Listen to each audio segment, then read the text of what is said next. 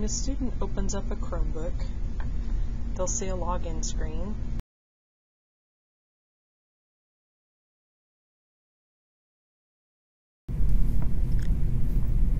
Once the student is logged in, the Chromebook opens to the desktop.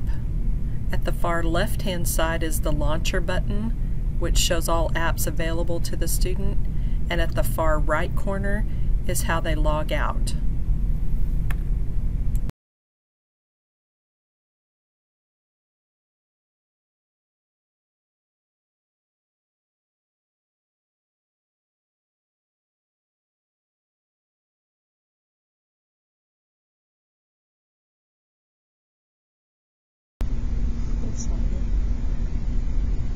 Far left hand side there is a launcher.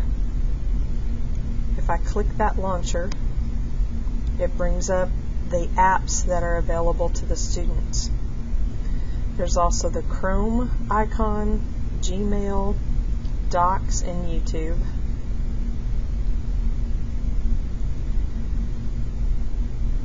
So whatever they're doing,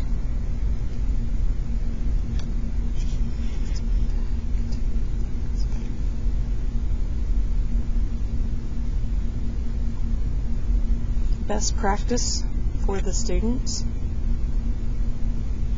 is to always log out at the end of the class and that's done at the far right hand side in the corner. You click on the image that is there and you click sign out. Because of the battery life, Chromebooks can be left on as long as they're logged out.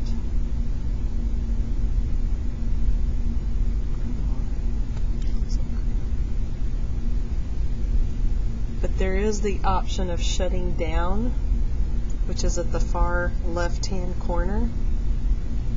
You can click shut down, and the screen goes black and it shuts off.